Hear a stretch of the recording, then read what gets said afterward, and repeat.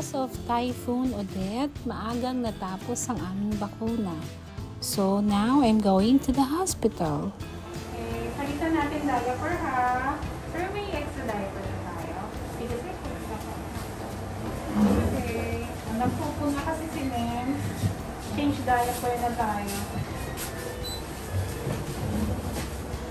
Ang likod mo. Angat ang likod.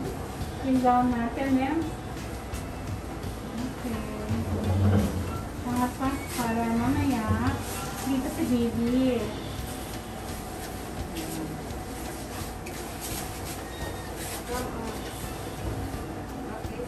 Okay, good. Konti na lang. Tapos, kanya kong gagawin. Sige, kaya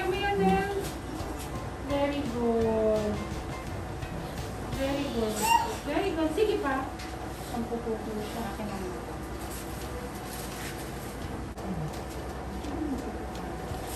Hi guys! So for today, we are here. Today is December 16, 2021 and it's a stormy day. Uh, meron kaming typhoon ngayon, Odette ang pangalan. So itong baby nila, anong baby natin? Boy, girl. Boy, di ba? Kanina pinanak namin girl, kaya pinangalanan ko siya Odette. Ito naman boy, kaya papangalanan ko siya Oding. Rodrigo. Rodrigo. Rodrigo. Odi. May sumisingit. okay lang. Ma'am, sige, Erika. Pero ang pangalan niya ay... Yay! Combination kasi ni Mami at ni Daddy. Ang pangalan ay Maven. Sige, dire-diretso lang. I will change my gloves. Very good. Very good. A dime. Very good. Okay, lidocaine. Magkakat tayo, ha? Very good. Uh, lidocaine. Okay, good. Pasok ka pa dun. Very good. Excuse me. Ay, ate, oh, ito lang. Sorry. Hold. Hold. Only blue. Ah. Okay. So, we're going to put lidocaine upside down. Yan, Lidocaine. Lidocaine is a local anesthesia. So, ibig sabihin, lidocaine is a local anesthesia. So, binibigyan natin ito para pagka nag-episiotomy tayo o kaya Ah. nag-cut doon sa perineal o sa vaginal area, walang update, walang pain. Okay? Maglalagay ako ng anesthesia, ha? Ayan, ikakat na natin siya. Tapos mamaya i-repair natin. Okay? Sige, konti na lang. Kailangan mo lang ng lakas-lakas.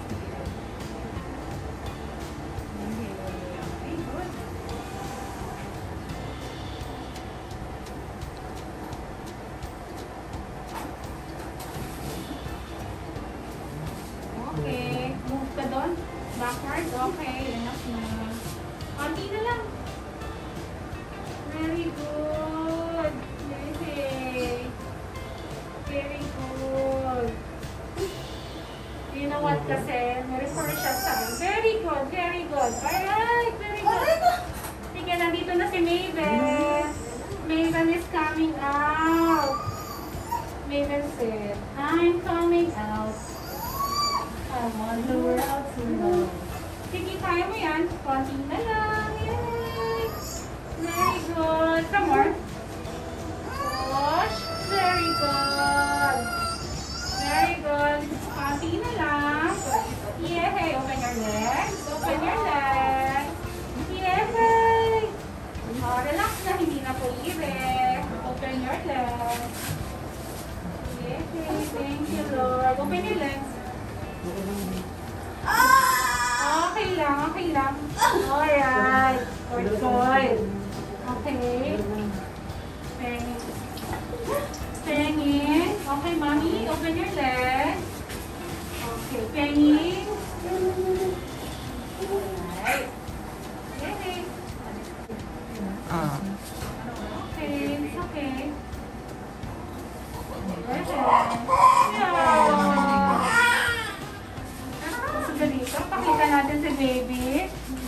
Beautiful baby.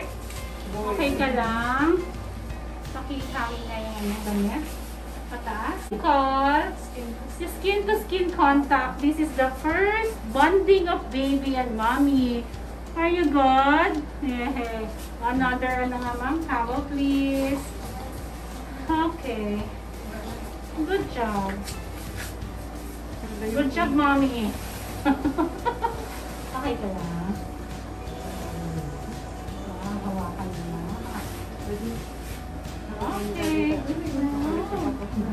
Oh, daddy, mommy, hold na. Hawak? Alright.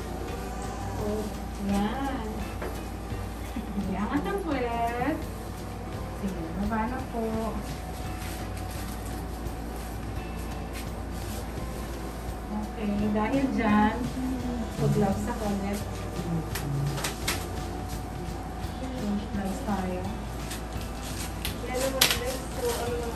So, kailangan laging steril. Kailangan laging malinis. Steril ang gamit para no infection. No infection to the baby and to the mommy.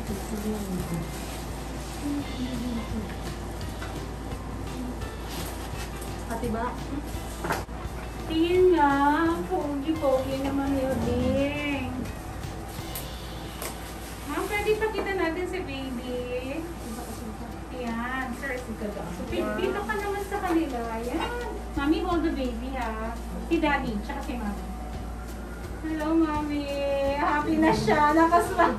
Yan, si mami naman. Yan, happy na siya. Sir, hi. Happy? Happy, very much happy. Extra. May kasama kami dito. Extra siya ng extra. Next time, i-vlog kita. Ikaw lang, mag-isa ka lang yung mga jokes mo. Para naka-embrace si baby Oh, sa mami. good. Super pogi. Okay? So, makikita natin. Ayan, yung cord, nagdidikad din. Yung cord, nandito pa din. Hinihintay natin siyang ma-detach. Ma-detach na spontaneously. Okay. Kasi, o, lagi ko ulitin, sa pag-aaral, studies have shown na kapag ka dinidelay natin yung cord clamping o pag pagka-clamp doon sa pusod ng umbilical cord ay mas maganda yung learning abilities ni baby. Mas matatalino ang mga baby. No? Gumagawa tayo ng mga hackers. Ayan, pumuputi na siya. oh, Kanina. Dito na lang. Okay. So, maglalagay tayo ulit ng anesthesia upside down. Malagay. Okay. Okay. So, maglalagay ulit tayo ng anesthesia kasi magre-repair ako.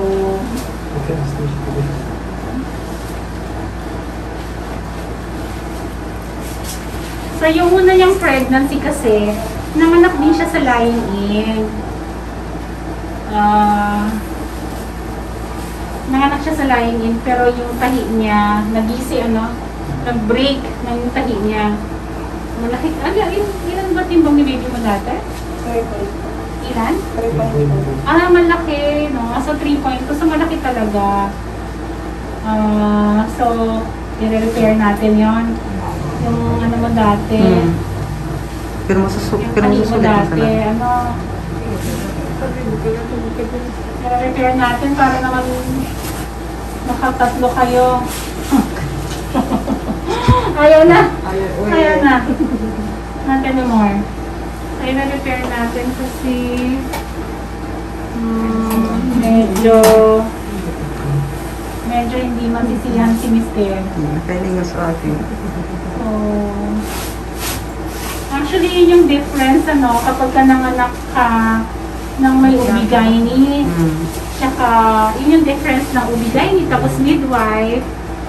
So, pagka ubigayni kasi, ang nagpaanak, mare-repair niya, maayos niya yung yung vagina. Yung tinatawag nila, ano yun? Landscaping daw. Flower arrangement. So, yung mga ubigayni, nagagawa nila yon Yung midwife, hindi nila yung magagawa kasi hindi naman sila, hindi naman nila trabaho yon.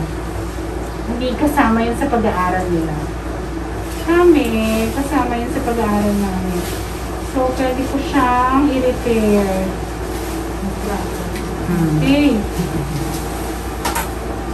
So, mag-flower arrangement tayo. Yan. Okay. So, waiting na ma-detach yung placenta o yung inunan spontaneously.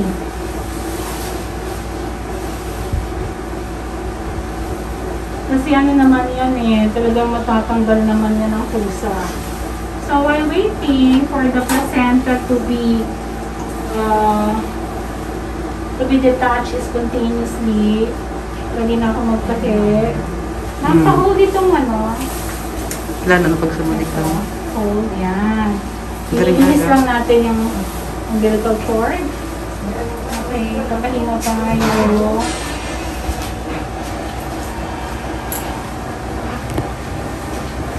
Okay lang. You tell me pagka masakit. Next, ha? Para madagdagan natin yung anesthesia. Sabi mo, di ba kanina hindi mo kaya? O, di ba? Kaya mo din. Kasi yung case nito ng pasyente natin, ano siya eh, ano nga, pang ilan mo nga anemia? Pang ilan mo nga pagbuntis? Pangatlo niyang pagbuntis, yung una naka-normal delivery, yung pangalawa nakunan, ano? Yung pangatlo, ito na nga. Tapos kanina, ah, actually nung dinala siya dito sa amin, nirefer siya sa akin dahil may nakakapa silang malambot na soft tissue dun sa sa internal examination dun sa IE. Hindi nila makapa, makapa yung head ni baby. Ang nakakapa nila is malambot. So, dalawa lang yan. It's either suhi, di ba, no, sabi?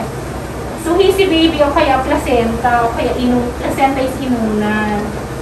So, nung in-examine ko siya kanina, uh, it turned out na inunan yung nasa kabilang side. So, pagka ganon, pero nakapaka yung head, good thing hindi siya suhi, tapos, yung placenta nakapakos sa ano lang, mga, siguro mga 1 centimeter. 1 centimeter dun sa sa sa kwelyo ng matres. So, ibig sabihin nun, ah, ang case niya ay low-lying placenta. Low-lying. So, ang low-lying placenta kasi, kung pwede yan maka-normal delivery. What is low-lying placenta? Masasabing ang placenta ay low-lying kapag ang inunan o placenta ay naka-attach malapit sa kwelyo ng matres o cervix.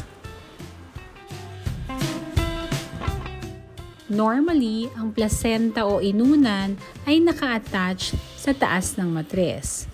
Kapag ang placenta ay nakalocate doon sa baba ng matres, ibig sabihin ay nauna pa ito sa ulo ng baby, ito ay tinatawag na placenta previa.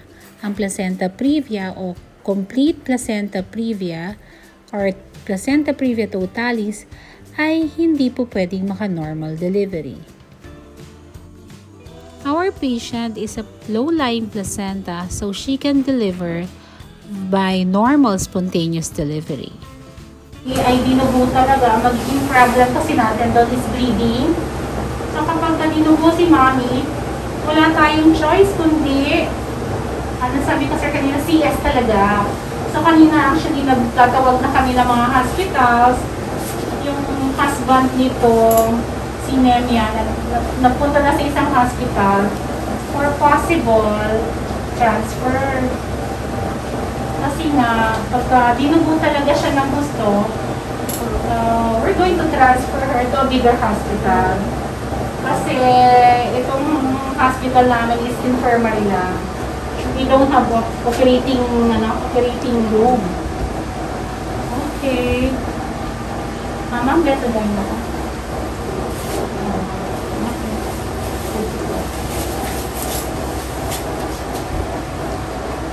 Na dapat. Sakit na? Ah, sige. Next. Lapit pa kasi tayo. Nasa skin. Nasa skin na tayo. Kaya medyo painful na. Dadagdagan na lang natin ang anesthesia. Ako po na ano. Thank you. Yes, ma'am.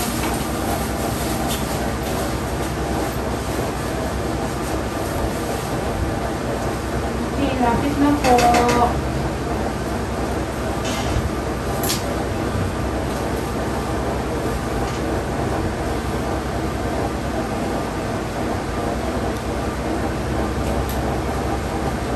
So, kinap ko, kinap ko ang patient.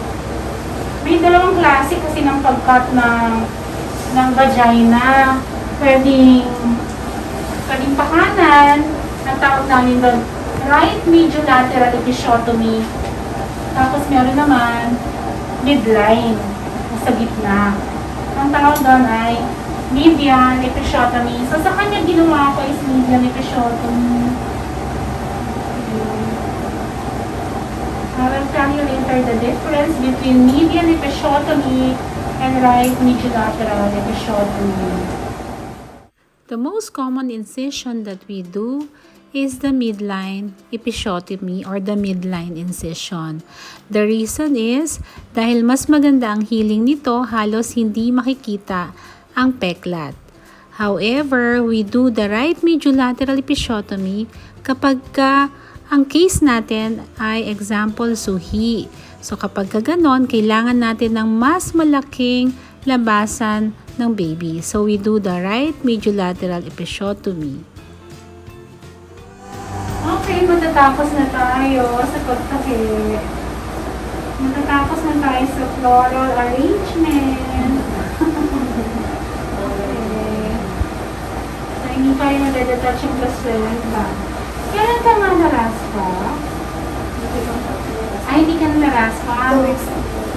At two weeks yung baby mo, yung second pregnancy mo, no?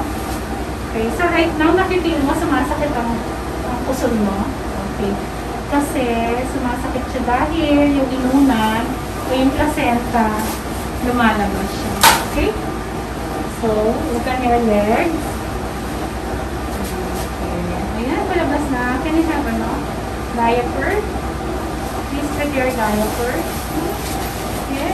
ko na. Hindi ko ito karawakan. Okay, very good. Na-increase ako ng oxytocin. Na increase. Okay, good. Very good. Ayan. So, ngayon, ito na yung niya. Ito yung inunan ni baby. Inunan o yung placenta. Yung ito. Yung makulit, sir. Ito yung nakausli kanina. Ito yung nakakapa namin. That's good. At least, naka-normal ka. Yay! Happy? Okay. Ay, ako usually nilalagay ko siya sa diaper. Okay, sa diaper. Tapos, maya-maya, ika-clamp na namin yung ika-clamp na namin yung umbilical cord. Tsaka na namin siya i-detach.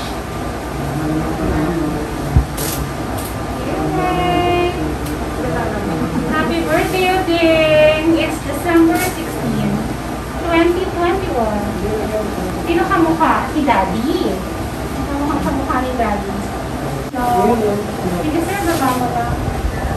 Dito ka naman. Pagalan siya. Pagalan siya. Yan, pakita mo sa sir na may kachikahan. Ayan. Nag-update na sa mga relatives si sir. So, we're going to clean up na. Ilinisan ka na lang, ha? Angat mo ang part mo. Okay. Okay, good job. Okay, so lilinisan na lang to si... Lilinisan na lang tong si Nemia. Congratulations, Mami Daddy. Tapos Baby. Okay. Dito, dito, dito, dito. Ito yung inunan. Si baby. Bye!